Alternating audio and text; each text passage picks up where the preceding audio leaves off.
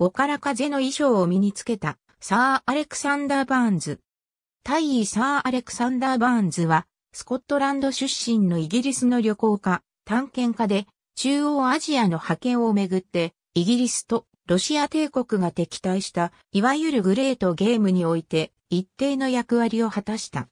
バーンズは、ボカラ・バーンズとあだ名を付けられたが、これは、彼がブハラとの連絡路を確立し、その一帯を探検したことにちなんだものである。バーンズは、スコットランドのモントローズで、詩人ロバート・バーンズのいとこであった地元の市長の息子として生まれた。16歳の時、バーンズはイギリス東インド会社の軍隊に加わり、ムガル帝国末期のインドで任務に就く間に、ヒンディー語とペルシア語を習得して、1822年にはスーラトで通訳の仕事に就いていた。1826年、政治交渉の助手としてクッチに派遣されていたバーンズは、その当時まだイギリス人が徹底的な探検をしていなかった北西インド一帯の歴史と地理に関心を持つようになった。1829年に初めて提案したインダス川の河谷を踏破するという探検の企画は政治的な理由から実現しなかったが、バーンズは1831年にイギリス国王ウィリアム4世からマハラジャ・ランジート・シングに送られた馬を届けるためにラホールへと派遣された。この時、イギリス側は陸路では馬が途中で死んでしまうかもしれないと主張して、インダス川を船で遡上することを認めさせ、密かにインダス川の状況を調査した。その後の数年間、バーンズは模範来を伴ってアフガニスタン各地に旅行し、ヒンドゥクシュ山脈を越え、今日のウズベキスタンのブハラやガージャール・アサ・ペルシアの領域にも足を踏み入れた。1834年、バーンズがイングランドを訪れた際には、これらの地域についての同時代の豊富な情報を盛り込んだ手記が出版されて、当時としては最もよく売れた本の一つとなった。初版の売り上げだけで、バーンズは800ポンドを手に入れたとされ、その業績は王立地理学会からの創立者メダルの授与によって検証されただけでなく、パリ地理学会からも栄誉を受けた。同年には王立協会会員にも選ばれた。格式の高いロンドンのクラブであるアセニアムクラブはバーンズを会員に加えることを無投票で認めた。1835年、インドへ戻ったバーンズは、ほどなくしてインダス川の航行に関する条約の履行を確保するために、新土の反王国の宮廷に派遣され、1836年にはカーブルのドースト・ムハンマド・ハーンのもとへ政治施設として赴いた。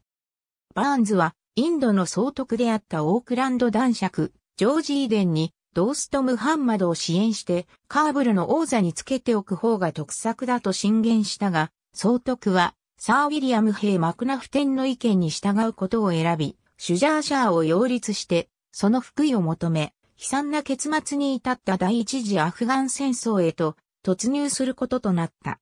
1839年にシュジャーシャーの福井がなると、バーンズは政治交渉の代理人としてしばしばカーブルへ赴くようになった。1838年8月6日、アフガニスタンで第21インド不評連隊の一員として任務についていたバーンズはビクトリア女王からナイトの称号を授けられたが、結局バーンズはその後もアフガニスタンに泊まり、そのまま1841年に襲撃を受け、弟のチャールズと共に統治で暗殺された。バーンズは危険が迫っていることをずっと前から知りながらも、平静を保ち続け、政治工作の上で右腕であったウィリアム・ブロードフット少佐が殺された後も凶暴な敵を相手に戦い続けたことで英雄としての評判を勝ち取ることになった。1860年に至り、バーンズが1839年にカーブルから発信した報告の一部が彼の見解に反する形で改ざんされていたことが明らかになったが、庶民院の調査要求に対し、当時の首相第三代パーマストン子爵、ヘンリー・ジョン・テンプルは、すでに相当の時間が経過しているとして、調査を見送った。バーンズの晩年の手記は、1842年にカブルと題して出版された。サー・アレクサンダー・バーンズは、暗殺の前日にアフガン人の従者から街で騒ぎが起こっているので街に残っていると生命の危険があるだろうとまさしく情報を得ていた。ペルシア語を駆使する力があったバーンズはこの警告を無視した。当時のアフガン側の記録によるとバーンズは当時現地にいたイギリス人たちの中でも最も宝刀を尽くしていた連中の一人として地元住民の深い怒りを買っており、最初から騒ぎの標的になっていたのだという。11月2日、早朝、カーブルでは騒ぎが始まった。午前3時には敵意に満ちた群衆がバーンズの屋敷を取り囲み、門に火を放った。シュジャーシャーが救援部隊を送ると聞いていたバーンズは屋上に駆け上がり、やってくるはずの部隊を探したが、誰もやっては来なかった。バーンズと護衛たちは建物を取り囲む群衆に発砲を始めた。